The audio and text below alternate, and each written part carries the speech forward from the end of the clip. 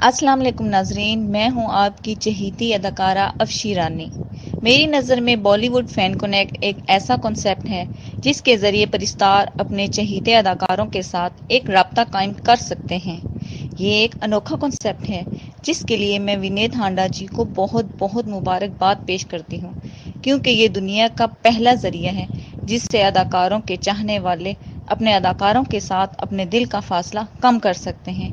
विनेत हांडा जी बहुत बहुत धन्यवाद एंड बेस्ट विशेष